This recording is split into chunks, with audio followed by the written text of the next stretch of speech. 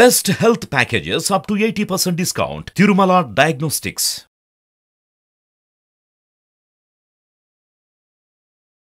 నమస్కారం అండి డాక్టర్ శ్రీ ఆచార్య అనంతకృష్ణ స్వామి గారు. నమస్కారం అమ్మా ఐదు వందల అరవై తొమ్మిదవ ఎపిసోడ్. ఎస్పెషల్లీ మహిళల గురించి మాట్లాడుతున్నాం కాబట్టి మా లేడీస్ అందరికీ నాతో సహా ఇవాళ ఇచ్చే టిప్స్ ఏంటి టెక్నిక్స్ ఏంటి ఎస్పెషల్లీ విజన్ గురించి ఏం మాట్లాడతారు? ఇప్పుడు విచిత్రం ఏంటంటమ్మా మనం మీ ఆడవాళ్ళందరికీ మొక్కలు పెంచడం అంటే బాగా ఇష్టం కదా. గార్డెనింగ్ పువ్వులు ఫ్లవర్స్ ఇవన్నీ బాగా ఇష్టం. కదా. ఇప్పుడు మీ సంపదను ఎలా వృద్ధి చేసుకోవాలి? ఓకేనా? చిన్న టెక్నిక్ చెప్దాం దీంట్లో. ముందు ఒక మొక్కను తీసుకురండి. మీకు ఇష్టమైన మొక్క ఓకేనా? ఏదైనా ఏదైనా పర్లేదు. మీకు నచ్చింది.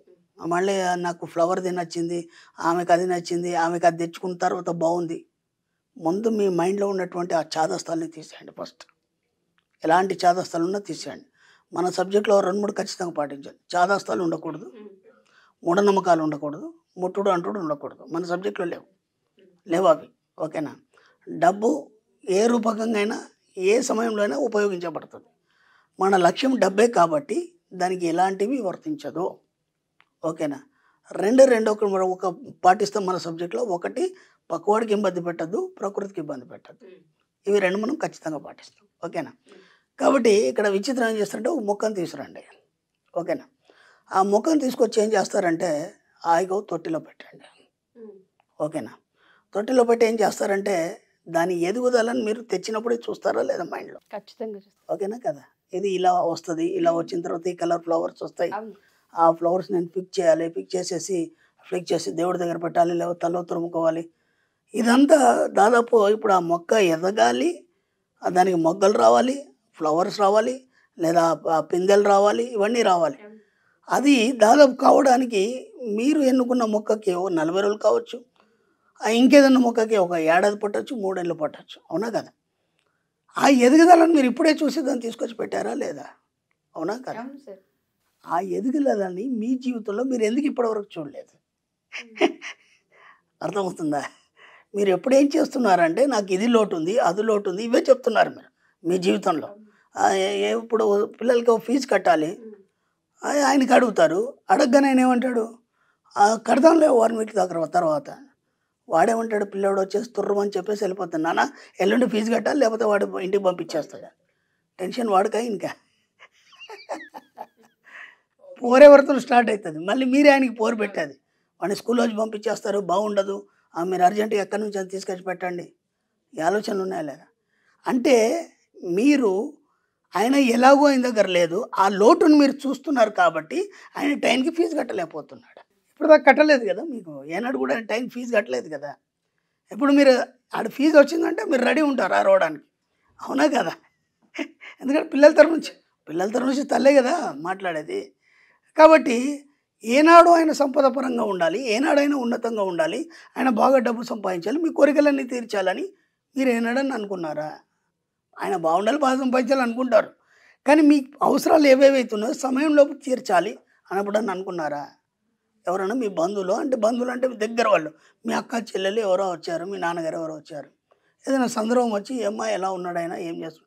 ఆ ఇంకేముందిలే గదే పని ఇక గంట గంట కొత్తగా ఏమున్నది అంతకంటే ఆయన సంపాదించడం మేము ముంగడపడం ఇట్లానే ఉంటాం ఇట్లాంటి పిచ్చి పిచ్చి మాటలు మాడతాం కదా. ఇదే మాట్లాడుతాం మాట్లాడుతూ. ఎలా ఉన్నారు? బ్రహ్మాండంగా ఉన్నాం ఏం చేస్తున్నాడు? బ్రహ్మాండంగా సంపాదిస్తున్నాడు. ఇలా మీరు మీకు మీరుగానే మనసు ద్వారా ఆశీర్వదించడం వల్ల ఆయన చేసే ఉద్యోగంలో ఒక ఉన్నత అనేది వస్తుంది. అర్థమైందా? లేదా కనీసం ఆయన చేసే వ్యాపారంలో ఉన్నతంగా ఏదో కలిసి రావడం అనేది జరుగుతుంది. దానివల్ల ఏమవుతుంది? ఇప్పటిదాకా మీకున్న కోరికలు ఏవైతున్నాయో ఏ మీకు చెప్పకుండానైనా తీర్చే అవకాశం అనేది మీకు వస్తుంది. ఇవన్నీ మీకు వినడానికి నేను చెప్పడానికి మీరు వినడానికి యాక్సెప్ట్ చేయడానికి కొద్దిగా బాధ కనిపించవచ్చు కానీ ఇవి వాస్తవాలు. అంటే మీ ఇంట్లో ఒక పాజిటివ్నెస్ని మీరే కలిగించాలి. అది మీ నుంచే ఉద్భవించాలి. మీ నుంచే స్ప్రెడ్ కావాలి. అర్థమవుతుందా?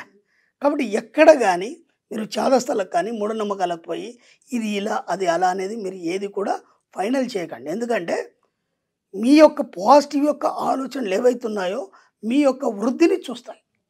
అర్థమైందా? మొక్కను తెచ్చుకున్నారు. దాన్ని ఎంత సుతారంగా ప్రేమిస్తారు? అవునా కదా? ప్రొద్దున లేవగానే ఏ పనిలో ఉన్నా సరే దాన్ని నీళ్ళు పోస్తారు. నిల్చొని దాన్ని మాట్లాడుతుంటారు.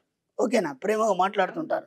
మళ్ళీ అది ఎలా ఎదుగుతుంటే మీ అక్కలకు వచ్చేళ్ళకి ఫోన్ చేసి, మొన్న తెచ్చాను కదా మొక్క దానికి మొగ్గలు వచ్చేసాయి అని చెప్పి లేదంటే అది కలర్ వచ్చిందని చెప్పేసి పిల్లకాయలకి కూడా పిలిచేసి "ఆ, ఏరా చూడరా ఇది ఇలా వచ్చిందని చెప్పేసి ఇవన్నీ అందరితో చెప్తారు. మీ ఆయనతో చెప్తారా? ఎందుకంటే ఆయనతో చెప్తే ఏదో పందికులని తెచ్చిపెట్టుకున్నాను తిడతాడని ఒక ఆలోచన మీకు. అవునా కదా? ఆయనతో చెప్పరు కదా? ఆయనతో కూడా మీరు ప్రతిదీ పంచుకోవాలి. అర్థమైందా? ఎందుకంటే మీరు ఎప్పుడైతే సమృద్ధిగా సామరస్యంగా ఉంటారో మీ కుటుంబానికి సరిపడా సంపద ఐశ్వర్యం ఆటోమేటిక్గా వస్తుంది.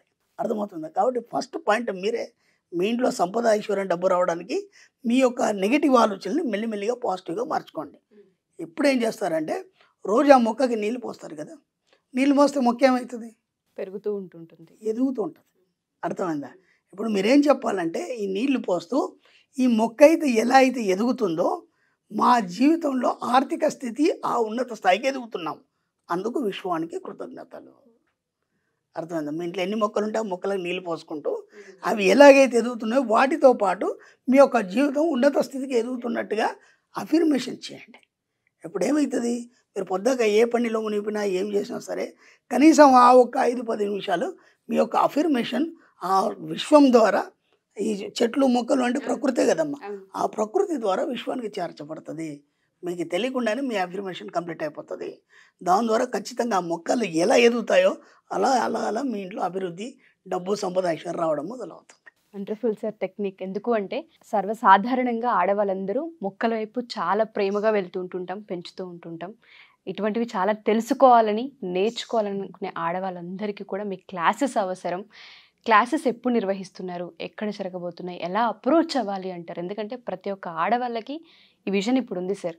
సంపాదించాలి గ్రోత్ రావాలి పాజిటివ్ మైండ్ సెట్ డెవలప్ చేసుకోవాలని. అండ్ ఒకసారి మీ క్లాస్లో అటెండ్ అవ్వాలని ఆశగా ఎదురు చూసే ఆడవాళ్ళు ఎంతోమంది. వాళ్ళ కోసం అడుగుతున్నాను. ఒకసారి దాని గురించి సార్. ఇరవై రెండు వేల ఇరవై నాలుగులో మనకు ఫిబ్రవరి నుంచి ఉన్నాయండి. జనవరిలో మనకి దుబాయ్ అక్కడ క్లాసులు ఉన్నాయి కాబట్టి ఫిబ్రవరి స్టార్టింగ్ నుంచి మనం క్లాసులు పెట్టుకున్నాం అక్కడ. నాలుగు ఫిబ్రవరి విజయవాడ అండి. మనకు పద్దెనిమిది ఫిబ్రవరి వైజాగ్లో ఉంటుంది క్లాసు. పదకొండు ఫిబ్రవరి హైదరాబాద్లో ఉంటుంది. అలాగే ఇరవై ఐదు ఫిబ్రవరి అనంతపురంలో ఉంటుంది. ఈ ఫిబ్రవరి క్లాసెస్ అండి. అలాగే మనకి మార్చిలో మూడో తారీఖు బెంగళూరులో ఉంటుంది. అలాగే పదో తారీఖు రాజమండ్రిలో ఉంటుంది. ముప్పై ఒకటో తారీఖు తిరుపతిలో ఉంటుంది. ఈ విధంగా క్లాసు మీరు ఎంత వీలెత్తుందో ఎన్రోల్ చేసుకోండి. Thank you sir thank you so much thank you అమ్మా